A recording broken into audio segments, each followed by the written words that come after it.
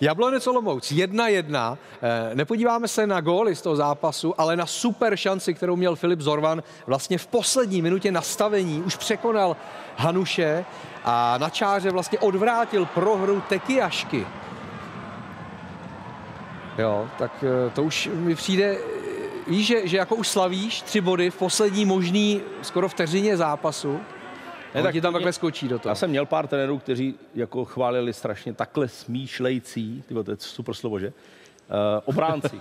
Jo, že vlastně on to čeká, že by Jo, to náhodou nemusel tam. chytit, tak ho tam jde zas- zastoupit. Já jsem to nikdy neudělal, ale klobouk dolů před těma klukama, kteří čekají, že to třeba Ty dostaneme. bys v téhle situaci byl na půlce samozřejmě. Já už bych se zastavil, to už je... To, to, nikdy vlastně, já už bych byl na, vlastně já už bych byl na lavičce v téhle minutě. Já si, já si pamatuju, jednou také dávala i v Popavě, někdo dával do prázdní brány, že jo? A to se zastavilo od... A, to se, Ano. a tam nebyl dokonce ani v obránce, ale zastavilo se to ve vodě. Baránek. Jan Baránek Baránek. to, no, a nakonec ten zápas nevyhráli ještě nakonec. On ještě šel, to bylo ještě pro něj hrozný, bacha, eh, strašně šikovný hra.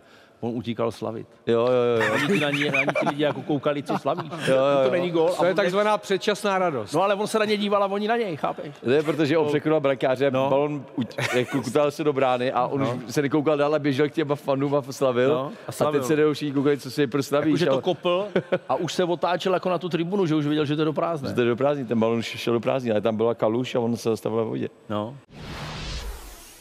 Další ukázky z show Tiki Taka najdete na sociálních sítích O2 TV Sport.